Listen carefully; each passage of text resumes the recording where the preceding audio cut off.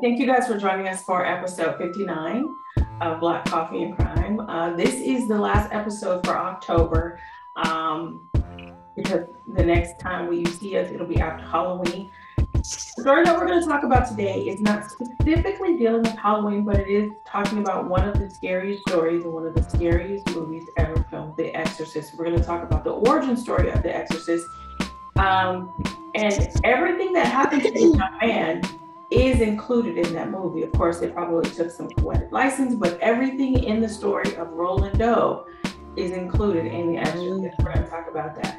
So, um, thank you to some, you know, new subscribers on YouTube, also new followers on uh, Instagram. Seems like there's been an influx of followers on Instagram. Definitely on Instagram. right. We don't know why you Oh came, but we're Jesus. you're here. um, so thank you all for joining us. This is episode 59. Uh, the way we do things here, this is completely unscripted. We know what we're going to talk about. We just don't know what we're going to say about it. Uh, we may get in trouble if there's something in here that we talk about that is triggering to you for whatever reason. We would prefer that you just exit out of this episode and come back to a different one. We don't want you traumatized at all. Um, we may get some stuff wrong. As a matter of fact, um, in one of the stories that we did about Serenity Richardson, um, completely unbeknownst to us, we did get some details wrong. We were you know, we were informed by her, her mother, actually, that there were some things that were incorrect. Um, of course, we apologized um, and really offered to retract and go back and correct those things. But understandably, she said that she would rather not go into those details and the things that we got incorrect. Um, and we got those things from public records, so we didn't make those up. So uh, we, you know, if that happens, we will apologize. We are very sorry for that. Wow. We don't want to, we're not here to be malicious or anything. We just talk about crime stories and other things that we find on the internet. Um, however, if there is anything that is concerning to you, um, any subjects you want to talk about, any comments, please leave comments in the video. You can also visit us on Facebook and Instagram at Black Coffee Crime. All right, that being said, we also do church announcements. Um, any announcements, any church announcements coming forward? Y'all um, just pray for- for my knee. My knee been struggling. It been struggling. Almost had. Uh, I was told to to break out my four prong cane, but your girl ain't about to do that. We just gonna we gonna touch and agree that my knee get better. Hallelujah. All right. All and right. Brad don't be over there uh, over there sneagling. Nope.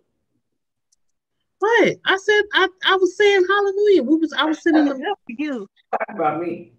Somebody told me to use both my my canes, and I was I told them I wasn't that broke down. Oh, nothing. Just don't even ask me why I have two prong canes. But just Yeah. know Okay. I ain't that broke down. That's it for the sick and shut in.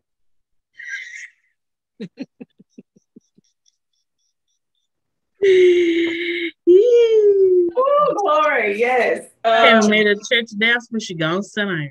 yes. So she said we just gonna touch and agree about her ailments. Amen. Um, I guess that's that's that's it for the for the sick and shut in list. Uh, uh, yeah. We ain't got no more church announcements. Uh, if if if you've been here long enough, we're still trying to we're still working on the building fund, y'all. yes. This episode what? That we like like Steve Harvey said, we ain't put a doorknob. No, we still in the storefront. We ain't built nothing. We ain't put a doorknob on, on it. Mm-mm. No. No. Nobody paying tithes and offering. Folks The, gotta bring their own chairs. Mm. Mm. So you, you, we know you want to be here if you bring your own chair, amen, and your own communion cup. Mm-hmm. You know, bring your own communion cup because we ain't got it. last the last ones we had. Y'all stole them, and we ain't buying no new ones. So bring your own communion cup. So yeah, building fund. Let's always keep the building fund Yes. in your purse. Um, if y'all been here long enough, you know that we have uh, suspended the prison ministry indefinitely. Uh, oh, that, how you say it, it's still funny. that ain't where we at now. That is that is not the direction of this church is going. This is indefinite. Indefinitely. We just, we just mail the Bible lessons. Yeah. We don't take them personally. We ain't, yeah, ever since Nico Jenkins, we ain't going back. Nope, no sir. We ain't going back. No, no. All right, so those are the announcements as follows. Please govern yourselves accordingly. Uh, Obey your ushers and always respect your pastor because your pastor is still Ready. Huh. Girl, it's been a rough day. Just ignore me. what what are you rough, rough day. What Look, are look, she, The wind been winded and the crow's been crowing. It's just been a rough day. okay. All right.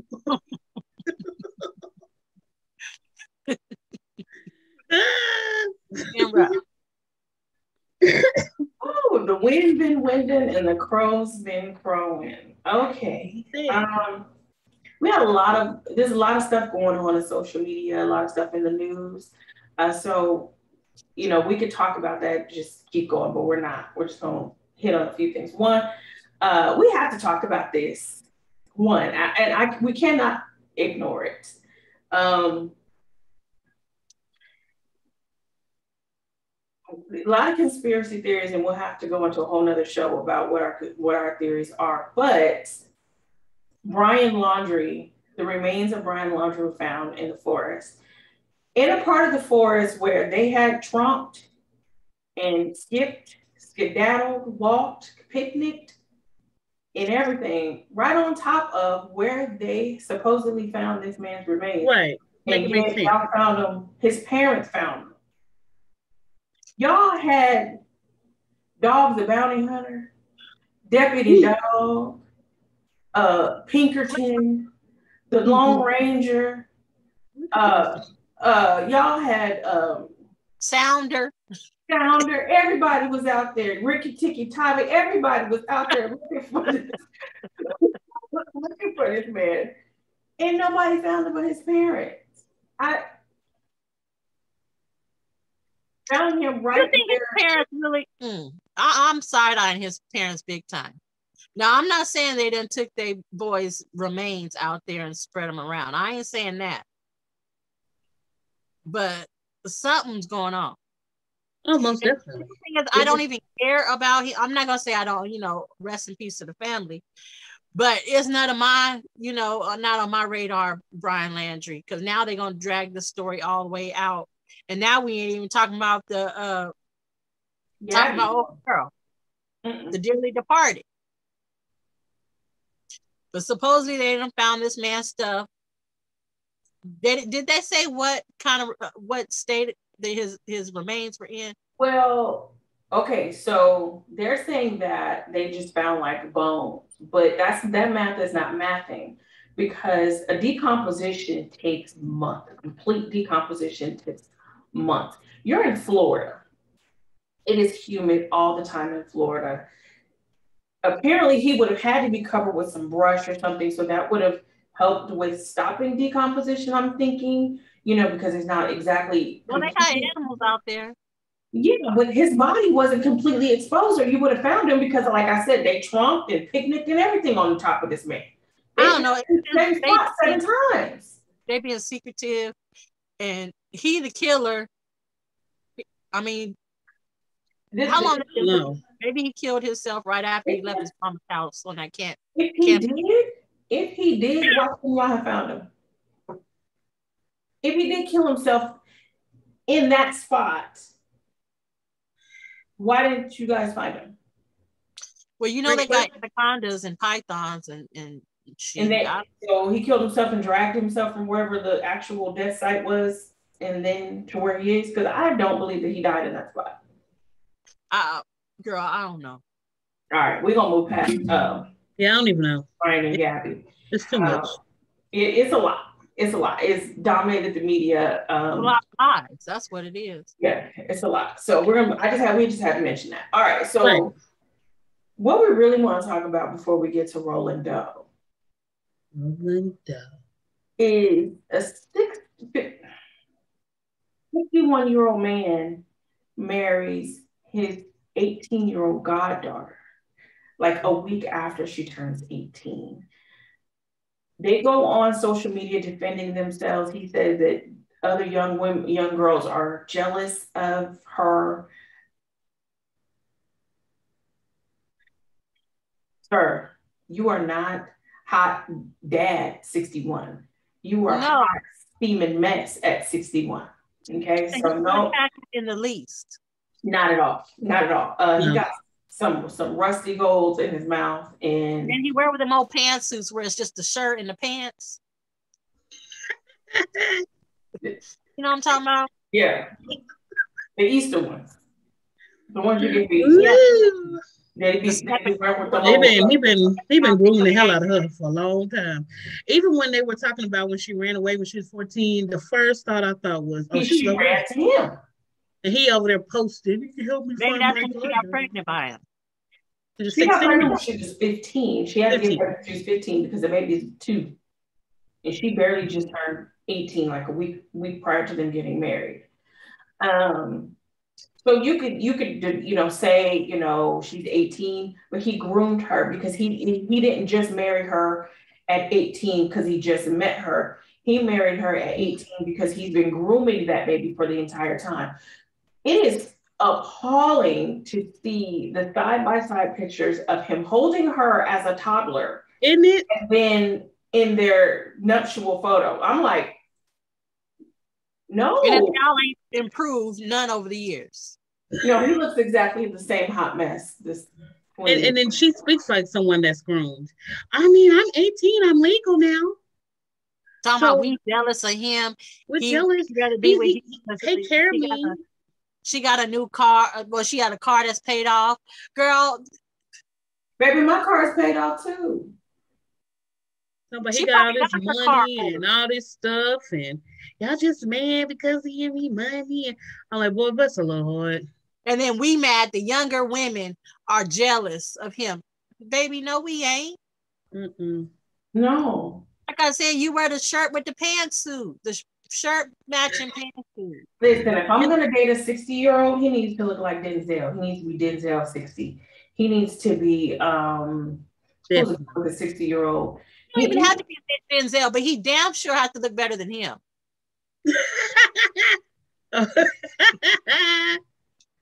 He's horrible. It's, it's it's it's really bad. And even when he kissed her, she just looking like, like she was like she she'll she'll figure it out. She'll figure it out.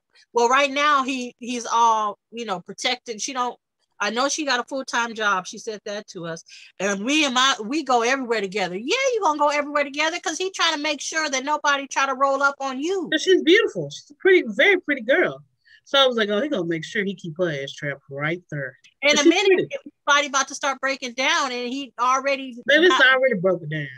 And he's got four other children, small children that she. Yes, small children. Why is he sixty one with small children?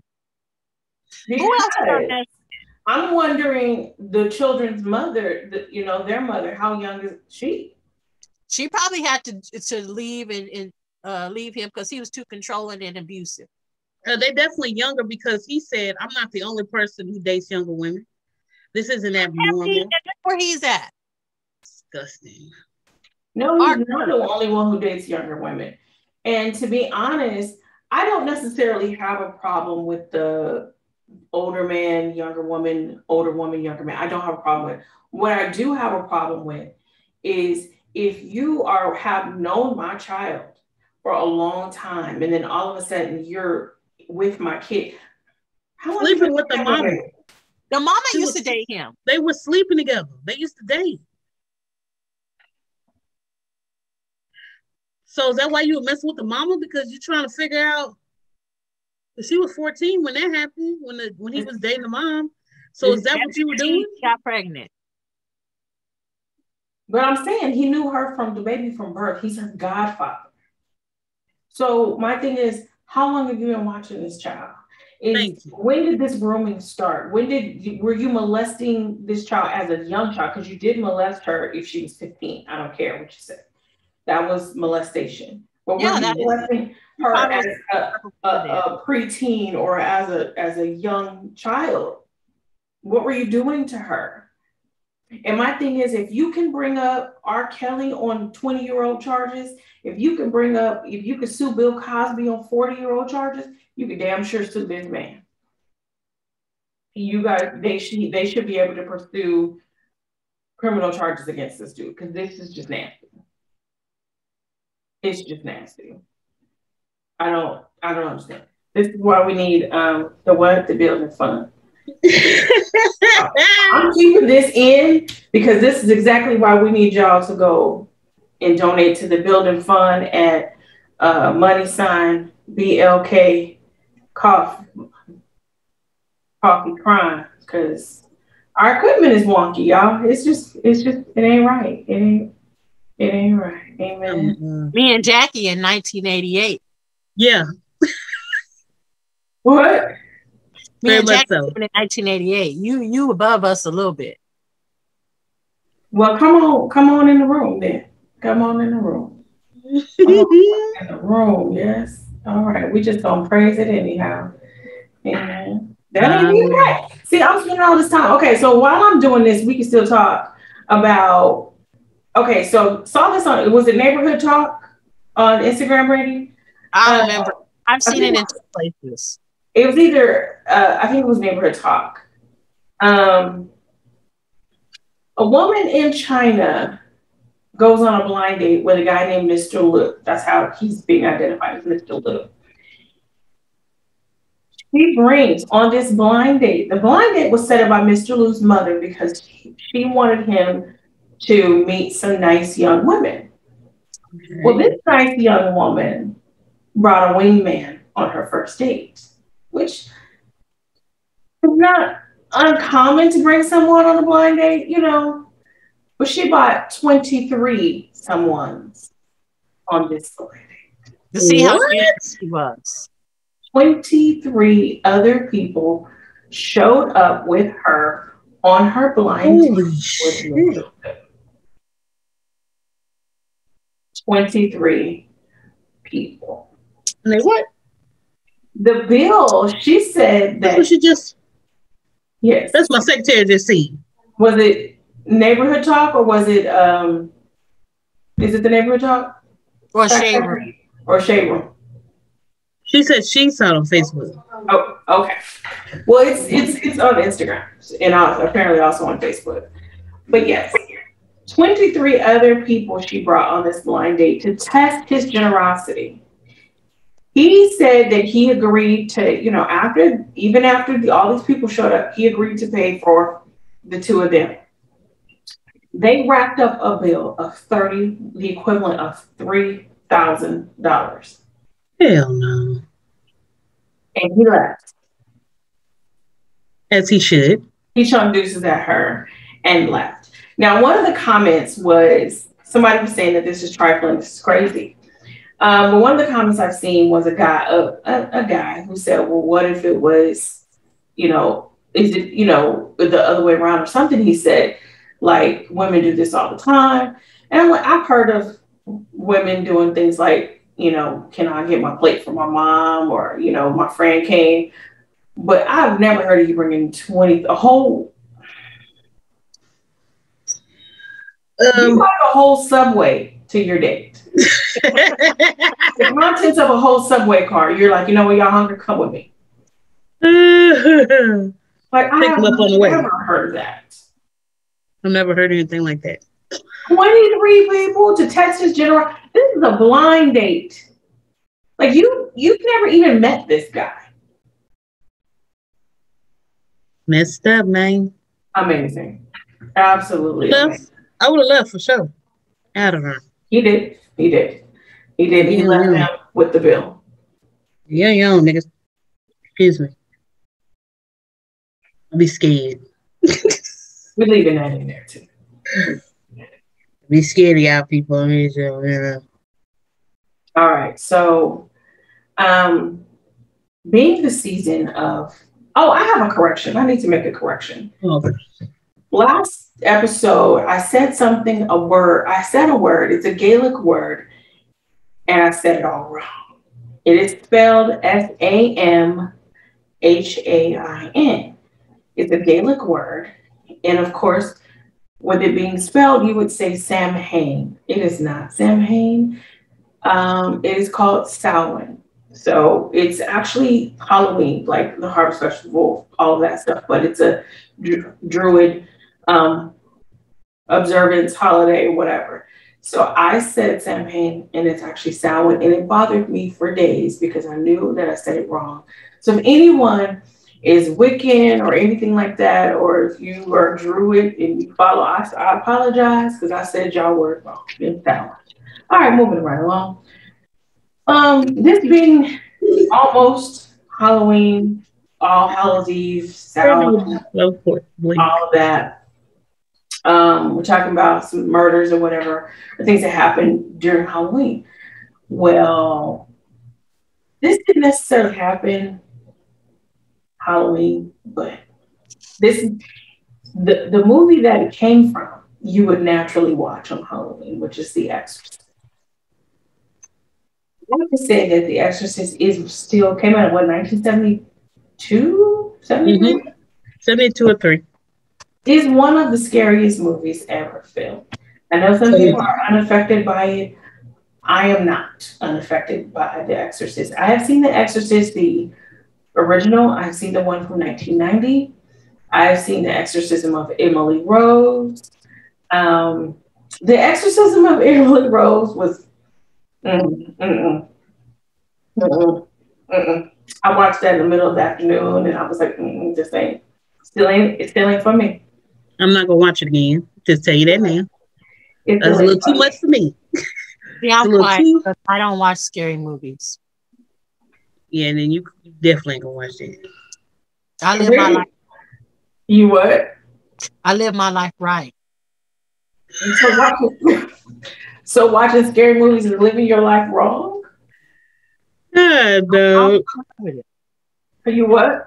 Don't mess around with I started watching scary movies when I was a kid because I have two older brothers and they were unaffected by it, or maybe they weren't, but they liked them. So of course, being the lowest one on the she gets on my nerves. I had to watch them. Um, no. They probably were scared, um, but they faked it very well. One of the movies that my mom always refused to rent from the local video store was The Exorcist. Tell y'all right now, black people really, really don't play around with demons and bringing them back. We be trying to put them where they go, and yeah, ex- we got present day demons to deal with. Yeah, we got real life stuff to deal with. But we spiritually, I think that we know that they're there, but we're not really trying to be in touch with them in our house. You know what I'm saying? We well, yeah, the Bible has has instances where you know when He sent them uh, the demons into the pigs and they ran off the cliff. I mean, there, there's there's examples in the Bible.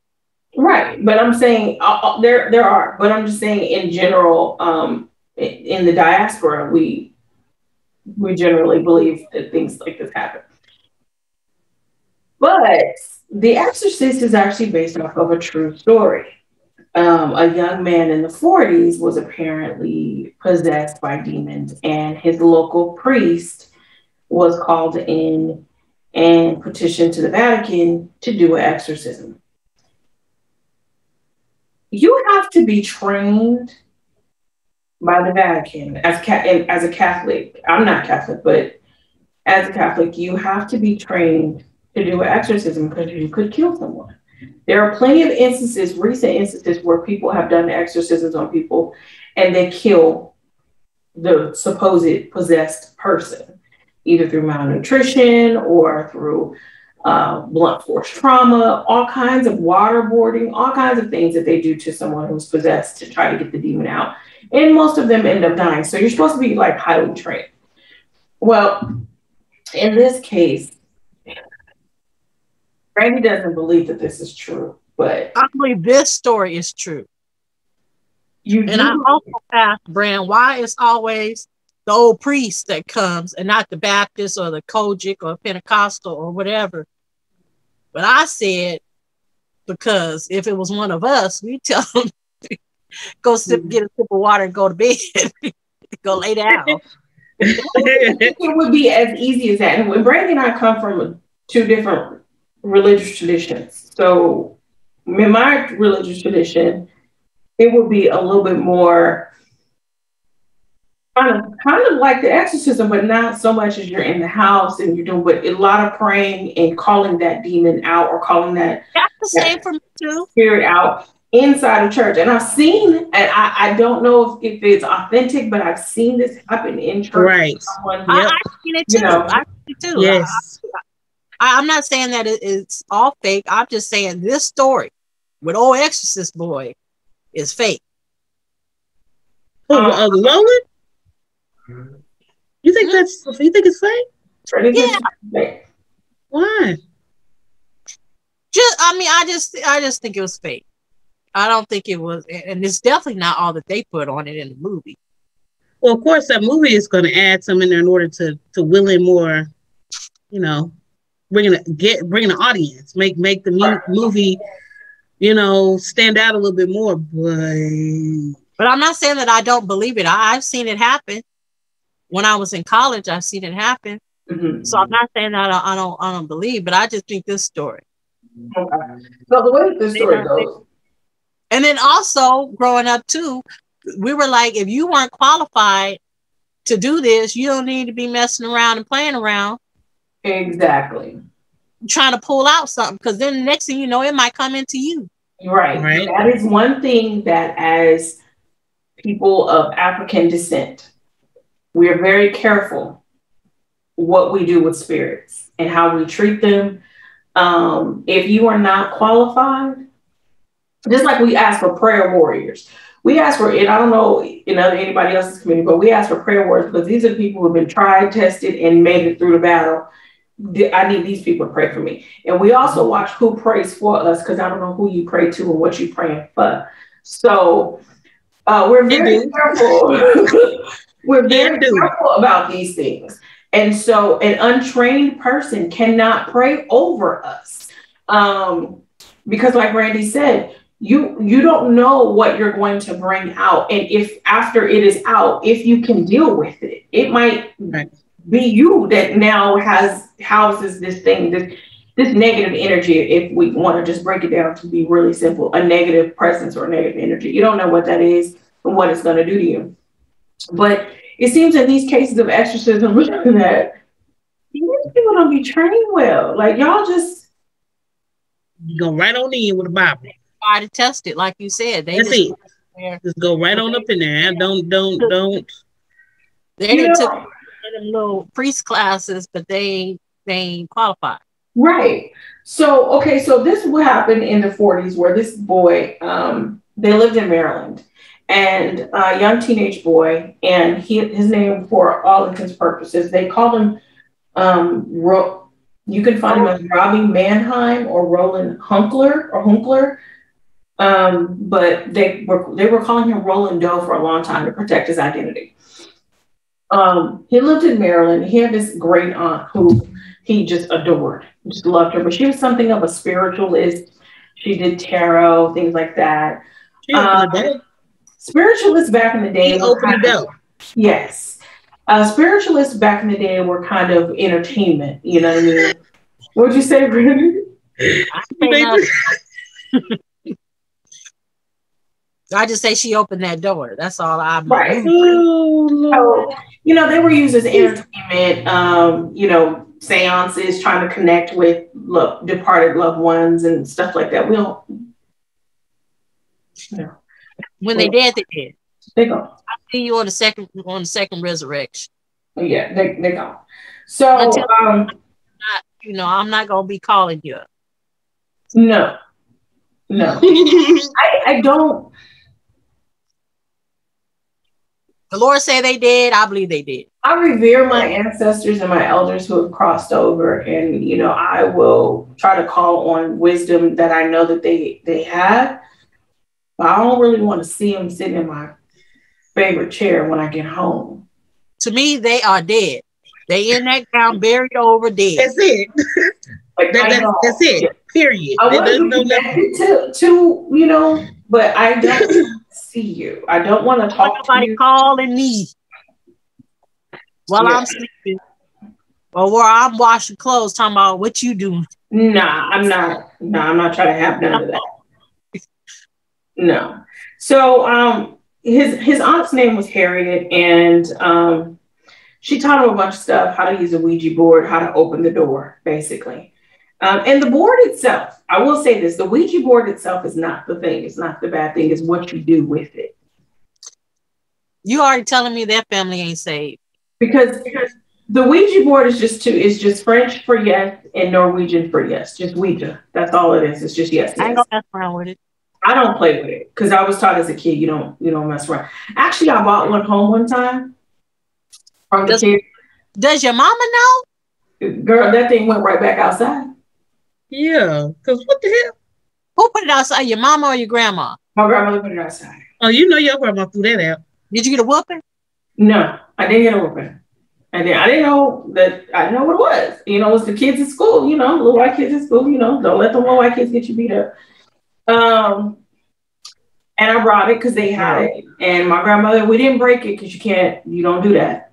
You take she said you take it back. You take it back. Hell no. I said you can pick it up on the side of the road in front of the house. Call them people and tell them put it all the way to the street. No, the- because you don't you don't want it to break. You don't want to break a Ouija board. You I, I ain't gonna have no reason to break one because Right, 'cause I ain't know- You it's do gonna not be break on the street, and whoever broke it got to deal with it. I don't know how to, the chain of command goes with it with a Ouija board. If it's the last person who touched it or the person who brought it to the house. I don't know. Don't take no chances. Right, you know you don't break it. But anyway, Well, it don't matter because it ain't got no power over my personal Lord and Savior. Mm-hmm.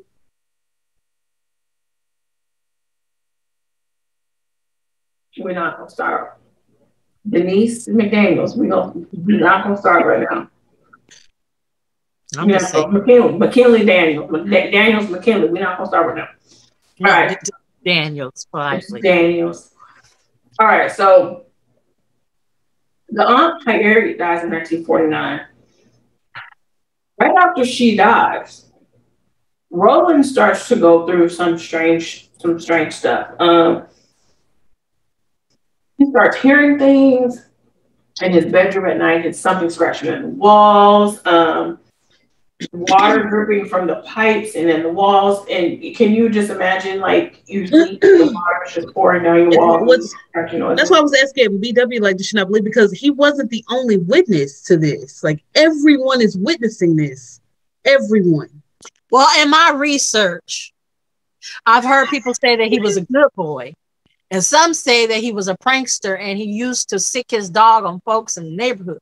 So what does that have to do with what? yeah, a, yeah, a prankster. It, yeah, he was a prankster. Hey, he could have been sicking a manufacturing all sticking a duck. You think Could- he could have made the wa- walls pour down with water. Oh, they just got bad plumbing. But he could have been rattling his bed and doing all that stuff. oh, geez. She said around. bad plumbing. They got they got rodents in their walls, scratching all on it. which is plausible. But we're gonna And the bird got in my attic and was just it was just doing his thing. Woke me up one morning. So I mean, there there's there's stuff that I just don't believe this story of this boy and these people. for years. So you think he carried this out for years? Well, he didn't Right. care how many years he So said. no, it was years. Okay, so were- right now, after Aunt Harry dies, they're in Maryland, right? They're Right. they're in Maryland. It happens there. They go to the doctor, the psychiatrist, which you know, psychiatry is a new uh, medical field at the time. They go to their local. They weren't Catholic. They were Lutheran. They went to the local Lutheran min- minister. Nobody could help. Um, then uh, they go to the Jesuits. So, which is you know a sect of Catholicism or whatever. Uh, they have this guy named Father Albert Hughes.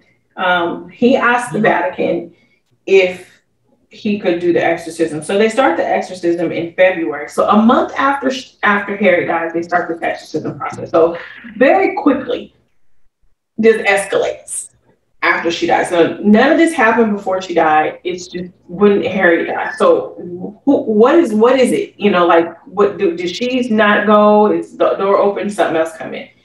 So they strap the boy down, which is common in exorcisms to strap someone down, which is very dangerous. Um, and the priest does his um, Lord tells you. right, which that ain't enough prayer for me.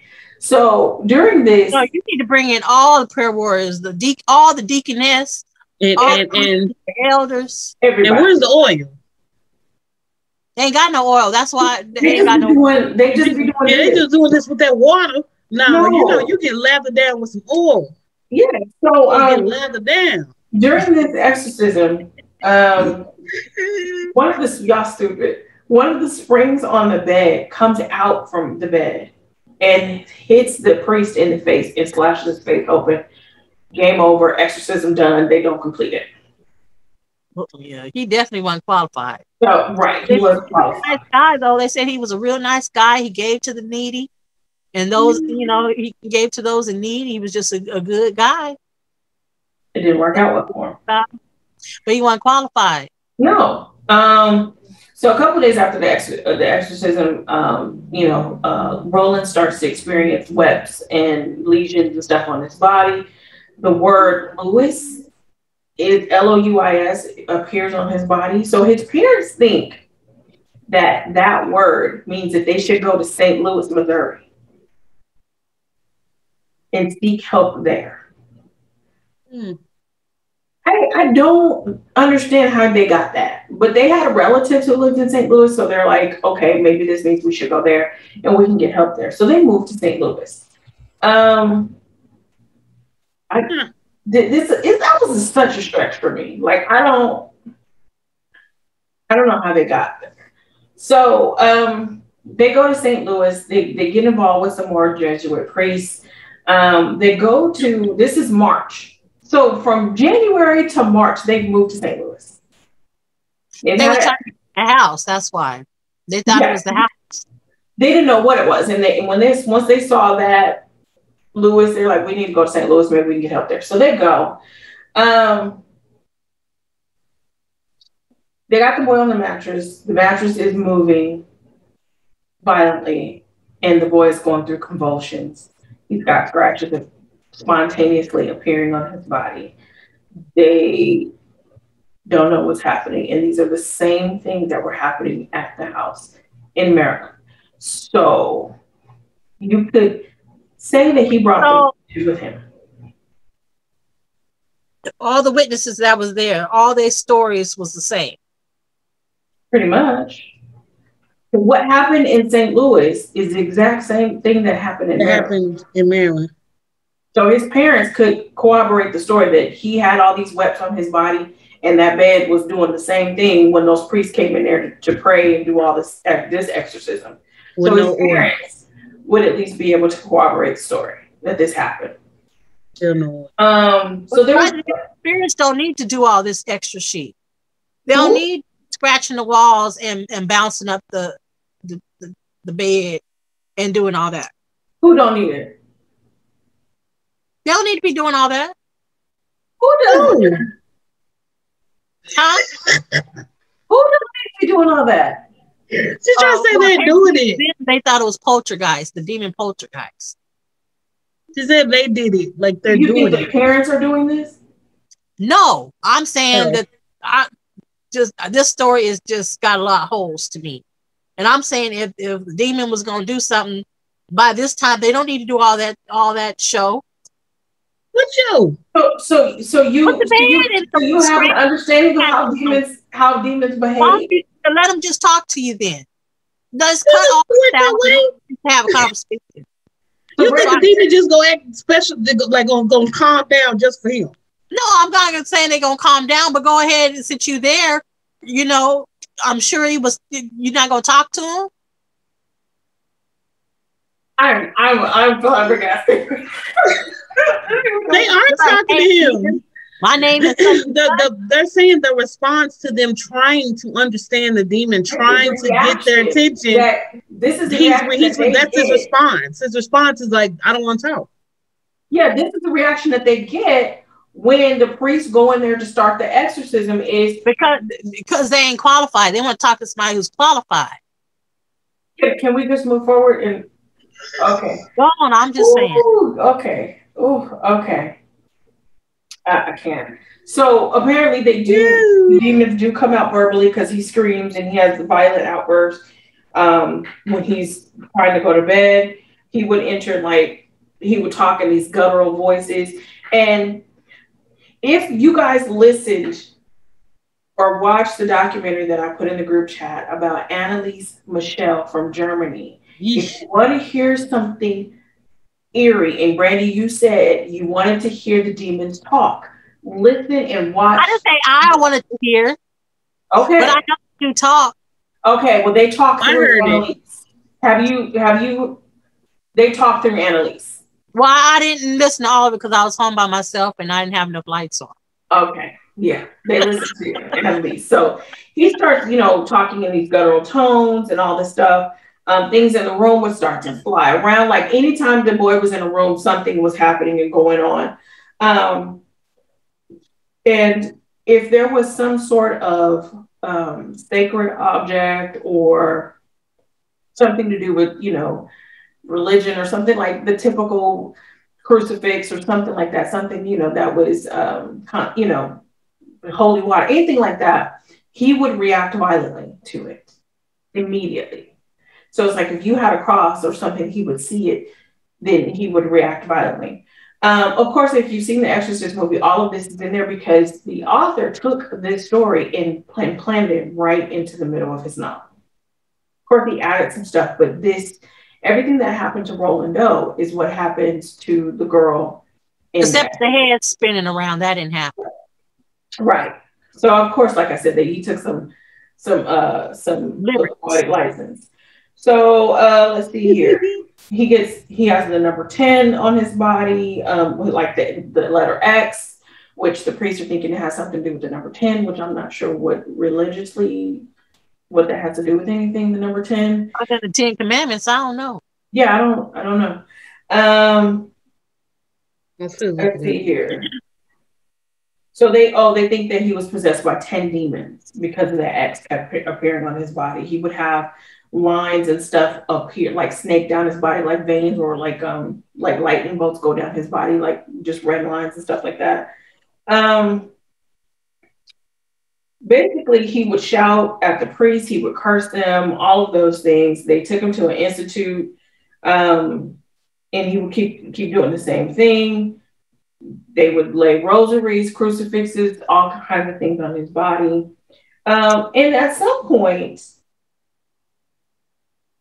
they get they they start praying. It was a bunch of priests. They start praying uh, over him, and at some point, they call on Saint Michael.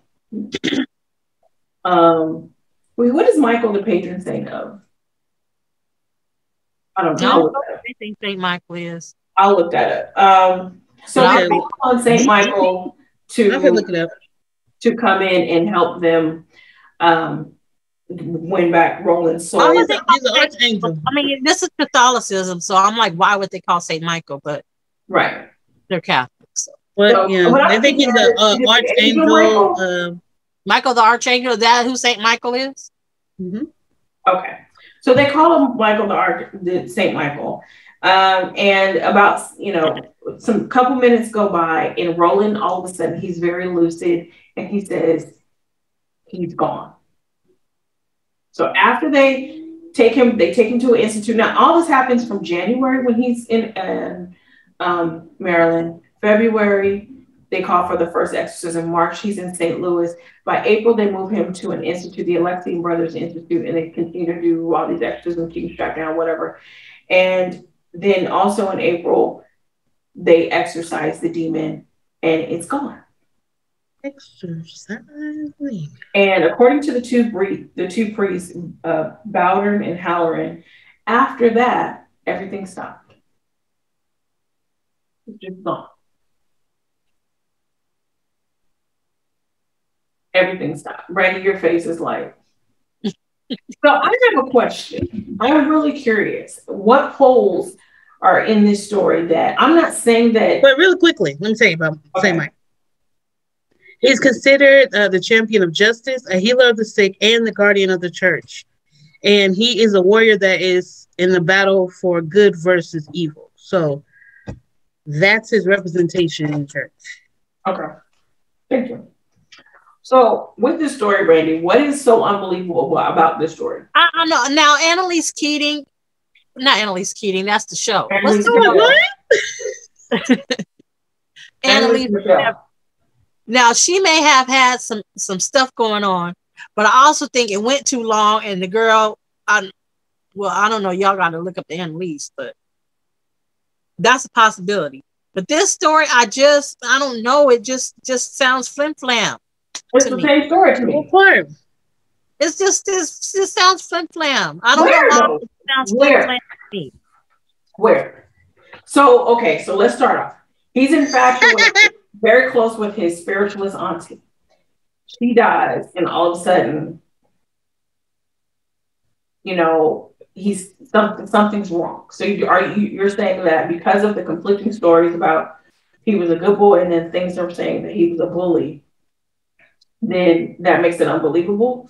I don't. They just said he liked to do it. There were there was just certain thing. Now I don't know about the dripping, and I don't know about no scratching in the walls, but like all that bed making them bed noises and just acting. I, I mean I don't know. It just it just seems like some flim flam to me. It just seems like flim flam. I don't but know. But that's why. the same thing that happened in the case of Annalise and Michelle. Well, I don't know. And I think Annalise would have lived if them folks wouldn't have starved her to death and she had all that malnutrition and dehydration. But she, but she was refusing to eat. Well, then at that point, if your child is skinny and bone is talking about this is the third day and you ain't took them to the hospital, I guess because they are afraid of it. I guess like you know maybe it being a problem, people not believing what they're saying. Um, but my thing with that is, I mean, she was eating. She just wouldn't eat food. She was eating. She, she died of malnutrition and dehydration. Mm-hmm. At what point do you take a kid to the hospital? Even if she did have a demon or whatever in her, at what point do you take well, her to the hospital? That, you know, and to, to speak to that, her parents, as well as the priest or the psychiatrist, I think it was, they were all brought up on criminal charges because of that. Mm-hmm. So they all served time because the authorities had that same question. Like, regardless of what she's going through, you never sought medical help for her. Yeah. Um, so, yes, and, and again, in modern exorcism cases, that's a thing. Um, in South America, oh my God, when did I read this? Maybe three or four years ago. Um, there was a guy, was it South America? I think it was South America. Also, it happened in Australia recently. Um, did an exorcism, and the family asked for the exorcism. The family asked for it, but the girl died in his care. But the authorities are saying that she could have actually lived if you had given her proper medical care. So is that the one that they tried to reborn her and had her in a had her in a uh, tied up in a, a blanket or something to to make I her recall if that's I don't and recall. she ended up getting uh what do you call it Su- suffocated I don't recall if that's the Oh. But I mean that's just, you know, going along the, the lines of torture basically. You're Yeah. torturing these people. And they beat them because they're like they're beating on their chest and all these things trying to get the demon to come out. So at a certain point, those doing the exorcism, they become criminals because qualified. they're they're not qualified. that's right that's right they ain't qualified They're not qualified. who ever heard of beating on beat you gonna beat on them in the bible they just called them out and they came on out and went to the pigs and the pigs went over the thing Well, why they be beating folks and and of course, we are not living in biblical times, so it's different. apparently it ain't that much different this boy got his bed hopping up and down and the girl with the demons talking to the to the priest and stuff you keep saying it. I don't even know And that why man, a legion of demons, it said legion. having this Why conversation. your boy had a 10, he had a legion. Of what? A legion. Can I mute you right now? For real. Can't have you. Do you all remember Bob Larson? He used to be in the early '90s. My mom used to listen to him, and he was always always talking to demons all the time. I don't know who Bob Larson. Cast him out. I don't know. Who Bob My mom used to listen to that all the time. I remember. Bob Larson had flaming red hair. But anyway, I don't know something about this extra story. I don't know. I don't know. It, it just, I don't know. Just something. Just, just, just don't seem like uh, it, it. And it's been told all over the. You know, it's been told so many times. The story gonna change. Yeah. I just, you know, I'm not saying I'm not saying that all the details because I, I wasn't there. Um, yeah. I'm saying that Interesting. it it's not out of the realm of possibility that this is true. I mean, he could have been. I'm saying he could have been possessed. He could be. He could have. But I'm just saying, I don't know. It sounds like some flim flam and this telling the story 85 times, and then you add stuff on it every time. Like, mm. Who's I adding put stuff too to much on it? Who's They adding put stuff? extras on it, is what I'm saying. They put extras. Who? The folks telling the stories over and over and over again. Well, I mean, that happens with everything. I mean, we've watched documentaries of this same subject from different networks, from different creators, and every single time, some of the details are going to be different. That's what Um, I'm saying. I'm saying what I'm saying that's that's true with everything. Then you could look go take a story tonight, watch CNN give that story, watch Fox give that story, watch CBS give that story. It is not the same story. It depends on But saying that the story was so, I just think it, it was kind of sensationalized. I think they put more on the story. Now the boy could, I mean, he was messing around with that Ouija board with his auntie. It's possible. Yeah, Of course, they're But I put some extras it's on it to sensationalize it. It's someone saying they're possessed by a demon. Yeah. They're gonna they're gonna put they're gonna they're gonna sugar that up a little bit. I mean, that's just that's just it makes for a great story. So every time the the the the it's printed in the newspaper, I'm yeah, gonna say every time, every time the story, every time the story is retold, it, they're adding up on it.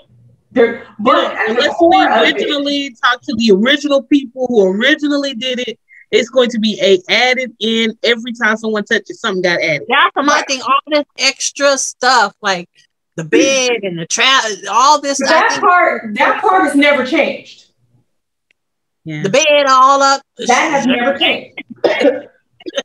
Those details of, of what was happening in that house and what was happening to his body, those details have never changed. And my thing is, if there was something going on in the house, if there was some sort of negative energy, I do believe that energy can move anything. Um, you we can't explain i think that part of this is science. We can't really explain everything and why everything happens. We see things we go outside and see something phenomenal in the sky. You can't explain why it happened like that. Why did this happen? So if something was in that house if something the energy was so great two different pieces of energy going against each other was so great in him and in that house or wherever environment that he was yeah I can move things I absolutely believe that. Yeah. I don't think he was in the earth spinning like this in circles, No, but I do believe that that, that there can be a force and a power that can have that ability. I mean, if that case, I mean, do you believe in ghosts? Me? Mhm. No. Okay, that's probably why Like you the feel. people walking all around the house and stuff. No, no, no, no, no. Just any kind of leftover evil spirit. Evil spirits have enough power to shape things. They can move stuff. Even, even you know that that can happen. They can move things. They can they can make things happen that you can't explain. How did they turn on a light? How did they move a chair? So I don't think that's too far fetched. I mean, again, I don't think it was like a spin, Yeah. but I do think something I was enough to make him feel like for it to be a situation where he may have been elevated a little bit. or something happened to it was that extreme. I do believe that it could happen. And then that's another, and then we're looking at other religions. And as a Christian, you understand, because I understand that you're not we are taught you don't play with the other religions. You don't play like that because they do things that we don't do. And it, it can open up doors to things because we do things so different. So with us being Christians, you know, I guess that's why I'm kind of like, you know, I don't know what they were playing with over there. You know, that's why we stay over here. So that's why I keep saying he would have came got greased. He would have even with the list. He would have got greased down with the spirit. You know, they put your hands on there. They get to hollering at you, you know, speaking in tongue and, and whatnot. He would have been all right in one day. He would have been okay. And he got okay, the right But also, also, as a person who was raised in a Christian faith, what I've learned as I've gotten older is that as a Christian, there's no possible way that you do not believe in the supernatural. You can say what? You you can't say that as a Christian that you don't believe in the supernatural. That it doesn't exist. No, I ain't, I ain't said that.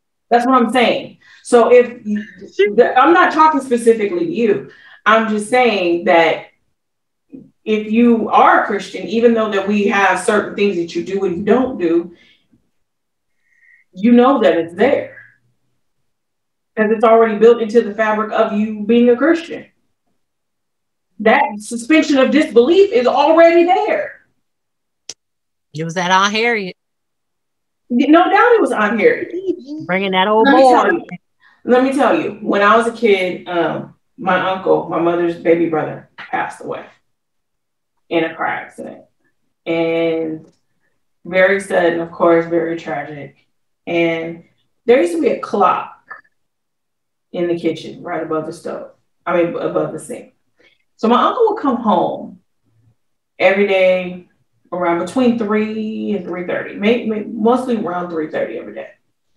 And you could hear his car, you could hear his music like blocks and blocks away. So the dog would, she knew what time it was because, you know, she would either hear it. So she waited for him for forever, for months. She waited for him at 3.30. Well, anyway, besides the dog, the clock on that wall every day at 3.30 would be on the floor.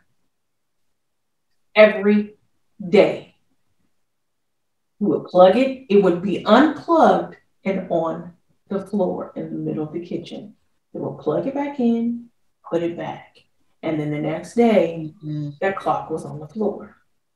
It wasn't simply that it fell from the nail because the nail was still there. It would be unplugged. Nobody would be home, whether you were home or not. That clock would be on the floor until my grandmother got rid of the clock. I gotta go outside. And it was like, well, what is that? And so at a certain point, it wasn't that it was even scary. It was just, why is the clock on the floor? Why is the clock on the floor? And then in the typical black woman fashion, my grandmother was like, boy, leave my clock alone. And it was her, no, no, no, not kidding you, her acknowledging that that was him was enough. There was nothing else that happened after that. She did get rid of the clock, but the, there was a medicine cabinet that would always be open. Like in the kitchen, there was a there was a cabinet, and I don't know what, there was just miscellaneous stuff in that cabinet. It was just built into the wall and the door would always be open. Close the door, door would be open. Close it and it would just open back. But it didn't do that before and didn't do it after.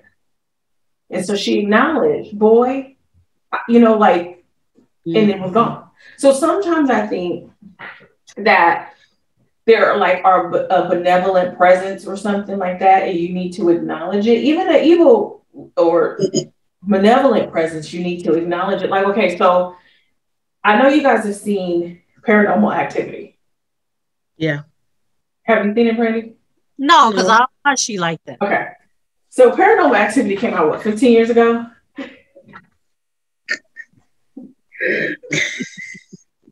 I don't. So Jackie, do you remember a paranormal activity? Oh, what point? I'm scared.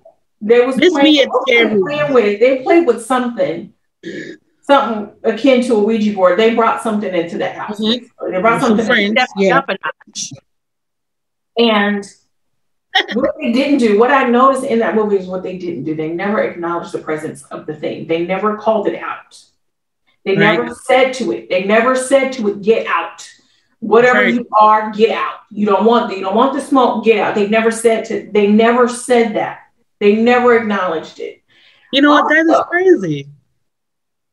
They never acknowledged it. They just they called it. Lord. They called they it. Acknowledgement, and acknowledgement is a very important part because I've had an encounter. So, I, and I knew the way in order to save my children was that I had in my mind in my mind, the apartment we stayed in had a lot going on when we sleep. And my daughter got to the point where she said, Can you shut my door? Because a man stands in the door. So I said, Okay. And then at nighttime, I would feel weird. I would feel eerie. And so I said, Okay, well, now it's getting to the point where you fucking with my keys. Now we got a problem.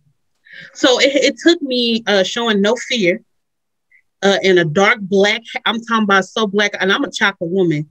So I'm talking about so black I can't see my hands. I can't see anything. And I had to stand there and don't and don't get it twisted because who got the oils is Jackie. And I was rubbing out everything. And I have to stand in the middle of the hallway. And I said, I don't know who the f- I had to talk to it like I needed him to understand or it to understand because it was getting to the point where Jermaine was scared. Their father, he'd be like, There is stuff going on. You can hear people walking up, you can hear stuff walking upstairs. So I was like, I don't know who you are, but you can't stay here. You got to get, get the fuck up out of here. And with and me bringing that presence, we never had a problem anymore. But I had I knew that I had to tell it to go. If I didn't tell it to go, it was just gonna kind of linger around there. So right. I understand. You do have to call it out and tell it to go. Like you have to make it go. Because if not, it's gonna stay there. Right. That's right. just me. But I'm but I but I you know, I'll be greasing stuff then. So. Yes. So it, it it's you acknowledging you're facing and and and it's a fear because truly are we if we're thinking with a scientific mind, maybe it's not there. But if we're thinking with a spiritual mind, it is there. Mm-hmm. Um, so you have to sometimes acknowledge the thing that that you're scared of. You have to acknowledge the thing, face it, put put you know make it real so that you can address it. So in that movie, Paranormal Activity, they never did that. They, like you said, Randy, they also never personally called Yahweh, Allah, right.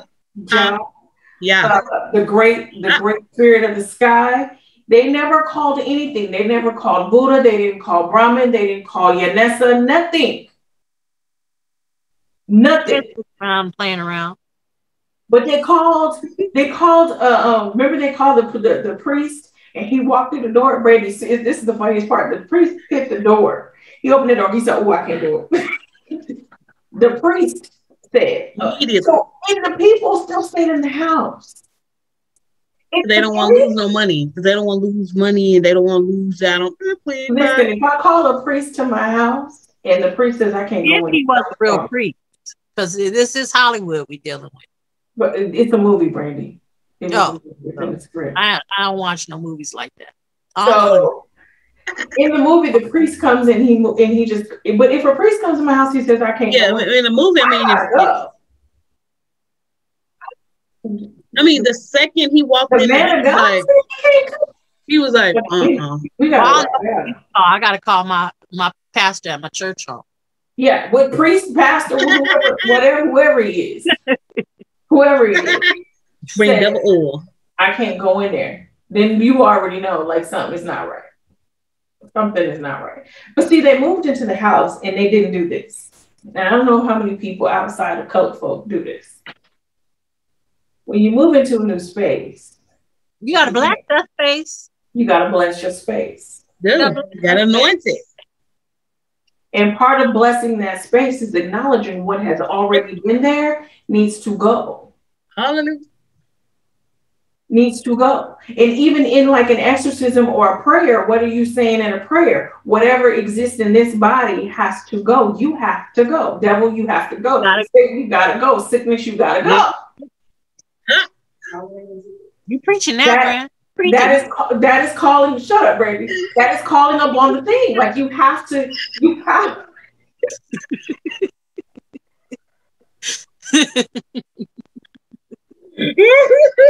Why did you lean forward? Because you were saying a word right there. You was you was speaking that word. Whatever in your life, you gotta acknowledge and tell it that you gotta go. You gotta go. You were saying that word. You gotta go. I had to hold- I had to hold myself. Why, why, why are you making fun? I can't with you. And then you got this and that over here laughing. Ooh, What, man. what, what she not preaching? But what I was, that's what, like, that's the whole, the whole, the whole thing about the exorcism and all this stuff, possession or whatever. I'm No, we- saying we- need to go on home and have the choir start singing and do this. Bro. oh my God! But I'm saying, listen, listen. You don't know But- Sorry. But isn't that true? You have to you have to name the thing. You have to call it out. And in none of these instances, I know that there was all these exorcisms and they're trying to start this stuff. They they didn't pray hard enough for me. They didn't pray hard enough. Mm. In in the movie The Exorcist, what did they say? The power of Christ compels you. Compels The you. power of Christ compels you to what? No, 'cause Ain't they didn't get their it tongue. They didn't get their tongue talking, it. did they? Get their tongue talking. And Then then they're I- I- reading from Hallelujah. they're Everybody reading gotta be the from green. this It's gotta be a book. team thing. To exorcise the demon, they're reading from this book. And if the demon has a stronger presence at the time and gives them a push, like a spiritual push, They just they going around got causing water damage, flipping they that got to thing. start all over again. I'm like, y'all need to put that book down and just Hit it. all on my hardwood floors, just, just but ain't called him. as soon as you walk through No, the you ain't gotta make the course with me. Girl, one time I got anointed. This is when I was in the hospital. Pastor came tried to anoint me. Girl, he put a glob on me. I mean, it was running in my eye, burning. But you can't move because you know he got his hand. All the other elders is around praying, and you like, Lord, I got to. I can't even pray with you because I got olive oil all in my eye. Did you feel the anointing though? Oh, I'm si- I'm sitting. I'm yet here. I'm yet sitting before you. True. But it still didn't stop that my eye They be using too much. powerful. It's powerful. They use too much. You know what? When I was growing up, when I would see Pompeian olive oil, I always called it blessed oil. I didn't know that you could actually cook with Pompeii olive oil. Oh yeah. But, But when I was growing up, How? When I was growing up, I didn't know that because I always saw Pompeii um, olive And that oil. thing with the red top. Yes, red or church. top? And my grandmother had a bottle on her dresser, and she would say, "Go give me that blessing oil," and you knew that you go get the Pompeii. So when I got older, when I got older, blessing oil, go give me that blessed oil. Um, when I got older, I saw it in the store. No, Girl, don't mess around and cook nothing with that blessed oil. I have not It will not. But it might come out fire. All right. It might. What if I'm having Just some might. thoughts and, I, and I'm cooking with the blessed oil? And it ain't gonna work. Yeah, I thought that was just the, the anointing oil too. Yeah, I didn't know that. I didn't know until I seen that stuff. So then when I saw the stuff, I was like, oh. But then you have to go to like pray over the oil. Like it's just type of oil. Okay. Okay. I, just I was not aware. I just thought that Pompeii, when that that That blessed oil. that red top Hallelujah. was just a thing for for blessed oil. That's that's all it was for. And then priests didn't have it. They didn't have no Pompeii. That's why they didn't. No, there's some water. They had water, literally. Yeah, little water. Water. Mm. Ain't nobody- And, we, and we're not saying that the you know I hope we're not offending nobody. It's just that we seen, you know, maybe if the grease that came in since the oil wa- since the water wasn't working, maybe the oil could have possibly worked. You know, we don't want they nobody. got a pastor from down the street. Yeah, Or get one of them old aunties that probably was uh working at one of them houses. Mhm. You know the ones that got that Mhm. that right here. Mhm. sweet potato oil. Mhm. The one that just keep polishing the uh the Mhm. uh, the, the banister. Rubbing Yeah, stuff down with Crisco. Because back then they was rubbing themselves down with Crisco. Yeah. Yes, Yes, needs needs and elbows just as shiny. She works. Smell like fried chicken. Put that little door in her head. Uh-huh. And a pair of Rance Allen's 40 uh 45s. Big Yep. tit. Big The ones, booty. the ones that sit on her, uh, the ones that just sit on top of her stomach. When you just, She shuffle a little bit when she walks. when you, you know, you know they're big when you. You know they do stuff like that. That's the only thing you can do is just sit them up here like this. You know they big, That's who they should have called. and they just the sit, and they just rock. Yep, should have called Betty. So okay, so Brandy, you haven't have you seen The Exorcist? No. Never, none of the Exorcist movies. Uh, you- you know I can't watch scary movies because they stay in my head too long. Have you seen any of the Amityville movies? no, Have you seen I ain't seen no Insidious, scary movie. Annabelle? The movie I seen was probably Conjuring. probably was a, a Freddy Krueger movie when I was a kid. And and then uh, Identity that wasn't no supernatural movie. It was a dang. I don't want to ruin it for nobody. But that's another movie I won't watch ever again. But no, I ain't watching scary movies. Them things stay in my head too long. No, I watched Halloween this Even past when I read weekend. a book, So Even when I read a book called um, Yeah. there's It a book okay. called I can't think of the name pissed. of the book. I got pissed off watching it. Not piercing the darkness, piercing the something. Piercing the But- Darkness is by Frank Peretti. Yeah, Frank Peretti. When I read that book, now that's a book about supernatural, about you know your guardian angel, and Yeah, that that's a very good book. If it's you an haven't to what we talk about, book. I thought, it's by Frank Peretti, and it is literally about this fight that no one knows is going on around you all the time between good and evil. It Uh, is. Like the fight of Good and evil. going- Yes, good and evil going on in your everyday life around you that you have no clue about. Um, yeah, it's a good book, and it is scary. girl, I had to read that, and that, that's a Christian book. I Yeah. had to read that with the light on. I read it three times though. Um, Pretty good then. Yeah. So have you okay, so okay, let's let's move to talk about books that scared us. So Brandy, you said that since it's almost Halloween, you said Pearson's Darkness. Jackie, do you have a book that scared you that you No. No. I barely watch scary movies. I ain't read no scary book. I got to sit up in there by myself in that bed and read that book. Uh-uh. And that's worse than watching the movie because you're dealing with your yes, because I have to create my own scene. Uh uh Yeah. I'll be The book terrified. that scared me, and to this day, I don't think I can go back to it. It's called The Witching Hour. Not The Witching Hour, I'm sorry. Um, I don't know no witch. it's by Anne Rice. I don't know is called witches. I don't know. Oh. Mm. Stop saying that. I heard you say you don't know no witches. Oh, that I don't know no witches. I mean, I ain't, I ain't with no, I ain't with no witches. My God. feel like oh oh, oh mm-mm. But while, while she looking for that, I watched Halloween this weekend. I got I got pissed off. Um, but this is how I watch scary movies. really Yeah, for real. I watch stuff like that too.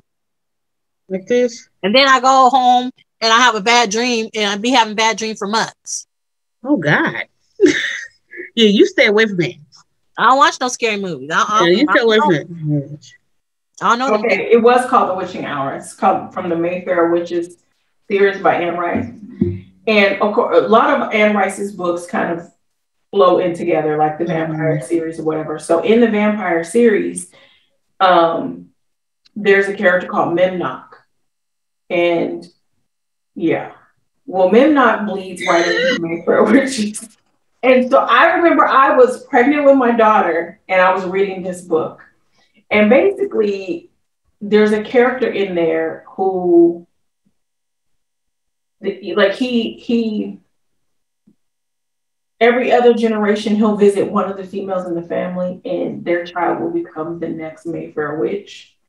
But he's always there. Brandy's covering her ears. Yes. And it scared the living daylights out. Because now, mind you, I'm pregnant. So I'm thinking that, that is No, Midnight. It's either Midnight or Taltos. No, It's coming. no. Yeah. Uh, Mm-mm. And I have I my was still I was terrified reading that book. What was them books we read when we were kids? It was a little it, they were popular. Nightmare the, the, the darkness. R.L. Stine. Huh? R.L. Stine. Not not goosebumps. Uh that other one where it had the creepy drawing on the front, looked like it was leaked oil. It was weird looking. It was like a, a, a novel of little short horror stories when, when- from when I was a kid. Oh, tales that tales of I was Okay. terrified of that book. tales of something. I forget what it is. My mama wouldn't let me read that book. I was terrified. It's She didn't know on, what else um, I was reading. sleep for a week.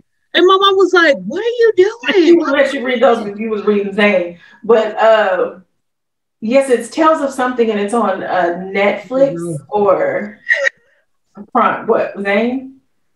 You know what they wear. I'm still, I'm still, I still don't want my mama to know that I was reading Zane. Is that bad? Your mama know you was reading it now. Yeah, she know. You know what she knows because I was reading it. Let me, I was reading it, and this, you know, so she's like, "What are you reading?" And I was like, "Nothing." So I never told her. So I passed the book to my sister-in-law, and then my mom's friend was reading the same book, so she passed it to my mom. And I like, "Mom, what are you?" Reading? My mom is stopping at stoplights, like long stoplights, reading this book. Right? I'm like, "What are you reading?" She said, Brandy, was you reading? No, she was so embarrassed herself. She didn't want me to know what she was reading. And then I saw what she was reading. I was like, oh, oh my God, my mom was reading. My mom was reading Zane.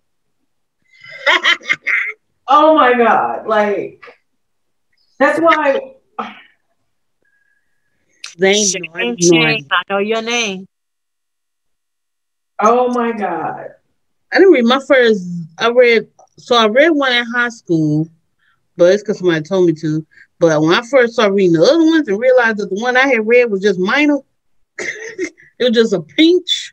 And then here Yeah. come uh, what is I was that? sitting up and work like couldn't couldn't do nothing, just sitting up and work. Just And now mine up that old, uh, whatever grade, Fifty Shades Grey. I'm like, that's elementary. y'all need Yeah. to go back and read some Zane because my mind is still blown. They think they're the first ones. My mind is still blown.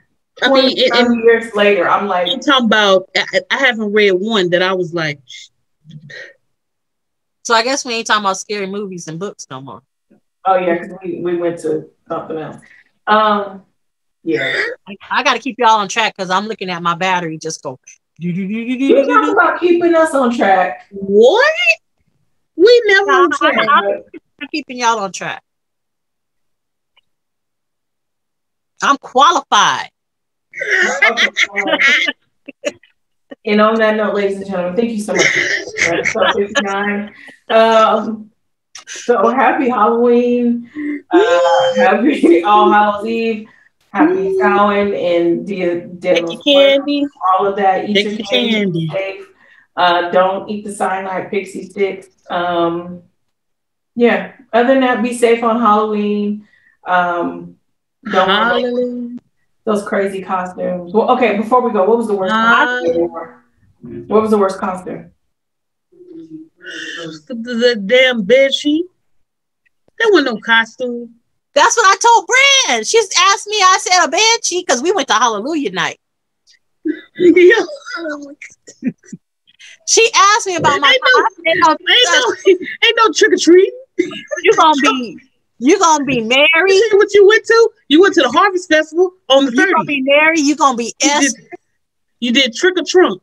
You go over there with your little sheet on, you go over there and get Right. your candy after big trunks. On Halloween, you gonna be up at that church house because that's what it keeps people come out. Hallelujah You night. And you put your mama's robe on your sheet to be a Bible character. And she ain't never got that robe back, that robe belt back again. Oh, Lord. How many of y'all still got your robe belts because you, your kids don't use it on Hallelujah night? Wasn't nobody going no trick or treating. We got to go trick or treat. we went maybe a You few got- times. We went a you few got times. hope. You got a flat sheet because it ain't gonna roll right if you got one, you know, the other Mm. sheet. With the feet? we had?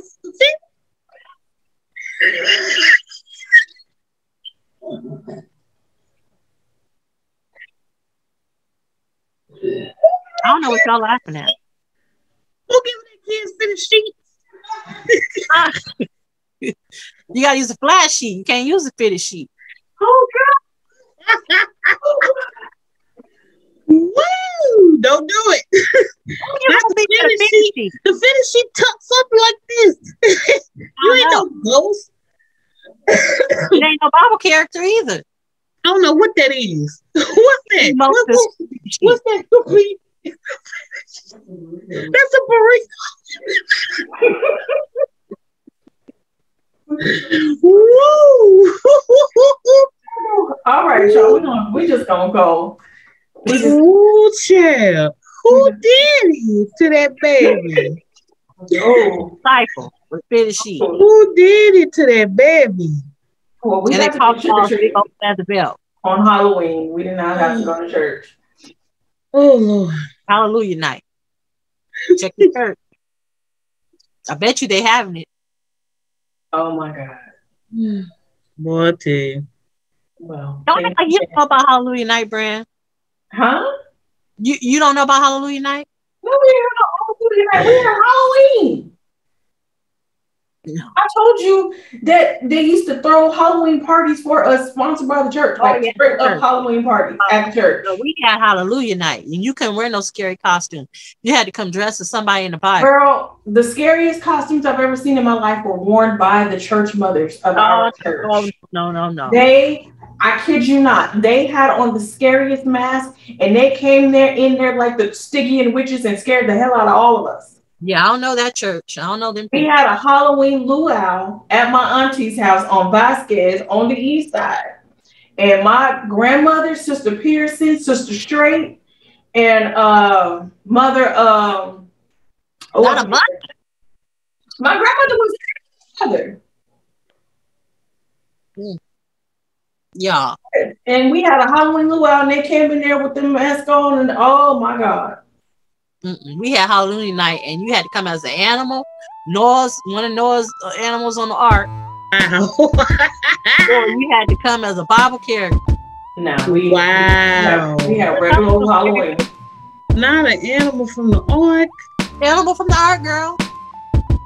I wonder if one of them come up and said they was one of them uh pigs that ran off the side of the, the thing. From the beginning. I can't. See, my kids trick or treated. Wait a minute, they can't. My kids trick or treated. So when I was like, you know what, this this trick this this Halloween, let's go to Halloween night. But my kids must have looked at me like I was the craziest. They're like, what? When I get candy? Oh, we have plenty candy at our Hallelujah night. Y'all don't y'all How long want was- Yeah, I, I, they didn't care. They want they want the costumes that they want. You know, you can't go up there with no no screen costume. Oh no, that ain't biblical. Can't come in there like that. That ain't never short. Well, I seen face and then verse. Well, we had we did things a little bit different over there, RST. Y'all just have to take the mask off and be John the Baptist. Good night, y'all. Good night. Good night. Happy Halloween. Yeah. Bye.